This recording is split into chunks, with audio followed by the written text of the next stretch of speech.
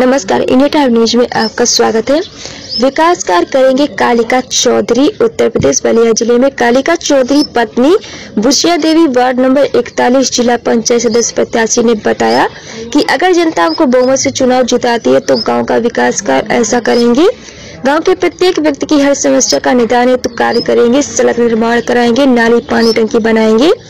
गाँव में स्वच्छता बनाए रखना, ग्रामीण क्षेत्र में नालियों की साफ़ सफ़ाई गाँव में दवाइयों का छिड़काव साथ ही एनएम आशा वो टीका लगा रहे या नहीं, ये भी देखेंगे।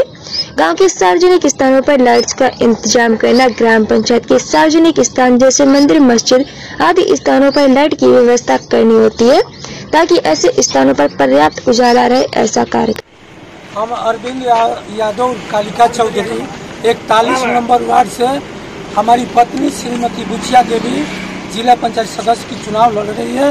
मैं रहने वाला ग्राम जगदीशपुर फेफना विधानसभा रहने वाला हूँ? जी इकतालीस नंबर जनता का आपके ऊपर उम्मीद और स्नेह प्यार देती है तो उनके लिए क्या करेंगे? अगर जनता हमको स्नेह प्यार देगी तो जनता के लिए 24 घंटे हम खड़े रहेंगे।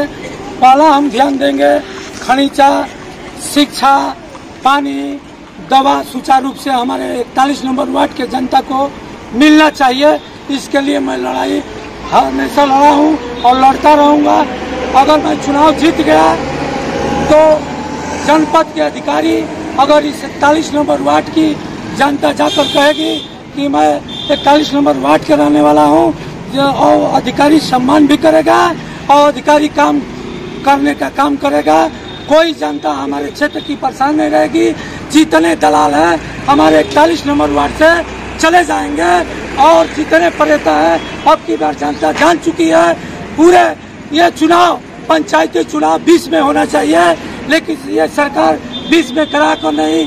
पूरे बलिया के पंचायत चुनाव ग्राम प्रधान के जितने पैसा है डेढ़ सौ करोड़, ये भाजपा सरकार छह महीने में लूटने की काम की है।